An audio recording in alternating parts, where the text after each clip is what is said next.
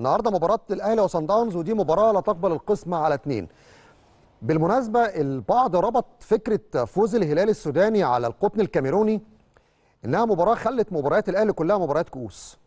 بصوا يا جماعة الأهلي يعني صاحب الرصيد الأعلى من الألقاب الأفريقية والقارية ويمكن فاز بدوري أبطال إفريقيا في يعني آخر ثلاث نسخ الأهلي وصل لثلاث نهائيات. فاز بنسختين وخسر النسخة الأخيرة.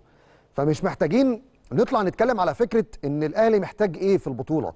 أنا امبارح حضرت المؤتمر الصحفي وكنت حريص إن أحضر المؤتمر ليلة المباراة عشان أسمع كولر وأسمع محمد الشناوي وكمان أشوف آه، الكوتش رولاني ميكوينا المدير الفني لصن داونز. كل واحد بيفكر إزاي في المباراة خاصة إن المؤتمر جه عقب مباراة الهلال والقطن الكاميروني بعدها بساعة. فكده كده الأهلي لما بيلعب في دوري أبطال إفريقيا وعنده دور المجموعات ثلاث مباريات على أرضه ألف ب أنت داخل تسع نقط المفروض على أرضك لا بديل عن الفوز. بغض النظر عن المنافسين عملوا إيه في المباريات بتاعتهم. يعني أنت تبدأ تتكلم على فكرة إن الهلال كسب القطن الكاميروني فبالتالي الأهلي مطالب ان يفوز على القطن في الكاميرون.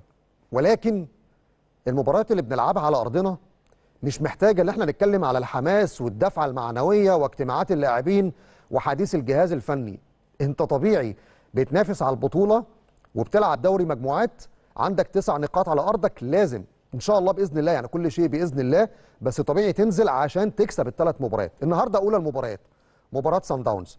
بعدها بأسبوع يوم السبت المقبل 4 مارس مباراة القطن الكاميروني دول ست نقاط على أرضك. تكسب إن شاء الله تبقى دي البداية والانطلاقة وتحط رجلك في دور المجموعات. بعد كده عندك مباراتين خارج أرضك. هتلعب مع سان داونز يوم 11 مارس يوم السبت وهتلعب مع القطن الكاميروني في جروة يوم 17 مارس وهيوافق يوم جمعة. دول مباراتين بره أرضك. انت لما تاخد ست نقط على أرضك في المباراتين الجايين وبعد كده عندك مباراتين بره أرضك أدي بتتكلم في أربع نقط يبقى 10 نقط. بتستنى بعد كده الهلال يجي لك. تكسب الهلال يبقى إن شاء الله 13 نقطة تأهلت. فبالتالي الأمور في إيدك. وأنت لسه أساسا عندك خمس ماتشات. فأنا امبارح شفت ال social media كلها بتتكلم على فكرة لا بديل للأهلي سوى الفوز على صن داونز ما هو يا جماعة طبيعي الأهلي هيلعب مع صن داونز أكيد لا بديل ليه سوى الفوز على صن داونز حتى لو دي أول مباراة في دور المجموعات. لأن أنت ثلاث مباريات على أرضك لازم تكسب التسع نقط. ولكن ال social media أحيانا من خوفها وحرصها على إن الأهلي لازم يكسب ال tone شوية بيبقى عالي.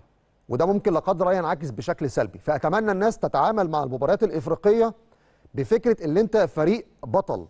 انت فريق واصل ثلاث نهائيات عندك لعيبة عندهم خبرات فخلي عندك ثقة واشتغل على الدفعة المعنوية. مش فكرة ان إحنا نصدر فكرة ان إحنا نازلين مباراة خسرنا اتعادلنا يبقى خرجنا. يا جماعة الأهلي طبيعي ينزل في مباراة على ارضه إن شاء الله هيحاول يكسب ويسعى للمكسب. اللي حصل الموسم الماضي لما خسرنا من سان داونز ذهابا ايابا مع ذلك الأهلي تأهل من المجموعة أكيد مش هيتكرر السنة دي والفريق بيشتغل على فكرة عدم تكرار أخطاء العام الماضي. والأهلي مع كولر في المستوى الفني ظاهر بشكل كويس. وكمان المشاركة في المباريات الفترة الأخيرة ما بقاش عندك آه، توقع مين اللي هيبدأ في التشكيل الأساسي. أكتر من 22 لاعب كلهم جاهزين في الماتشات خلال الفترة الأخيرة. وبالتالي إن شاء الله النا- النادي الأهلي النهارده يقدر يعمل مباراة كبيرة يكسب ايا كانت النتيجة 1-0 زي 3-0 زي 2-0 أو حتى زي 3-2 أو 2-1 المهم تكسب وتحقق الثلاث نقاط لأن القطن جاي لك يوم السبت ال- المقبل. فعندك إن شاء الله فرصة إن أنت تعمل ثلاث نقاط أخرى.